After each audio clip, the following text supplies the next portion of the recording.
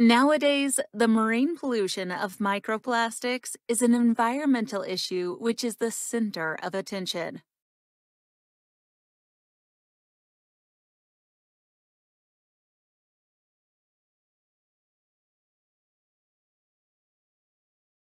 Cosmetic products contain a large amount of plastic powder.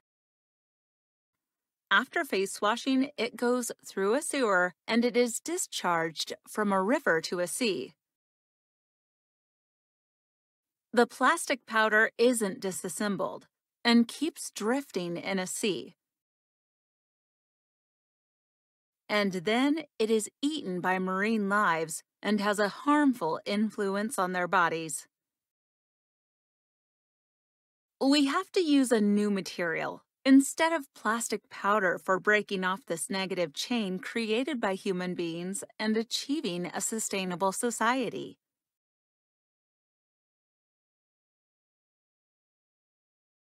In this video, we introduce a 100% natural smooth powder, amylopectin powder F.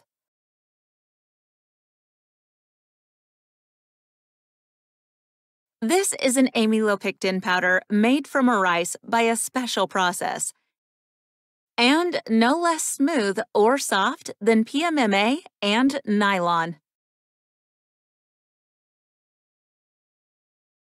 The particle size is about 5 micrometers and uniform, and the shape is a rounded polyhedron. The ingredient is special as well as the process. A glutinous rice is composed of 100% amylopectin. But a non glutinous rice is 80% amylopectin and 20% amylose. Amylose absorbs water and causes stickiness and rot. So, amylopectin powder F is made from a glutinous rice. This is why amylopectin powder F doesn't cause swelling or stickiness, and it is difficult for germs to propagate, unlike general rice powder. So you can use it for water-based formulations. Of course, you can also use it for oil-based formulations such as powder foundation and lipstick.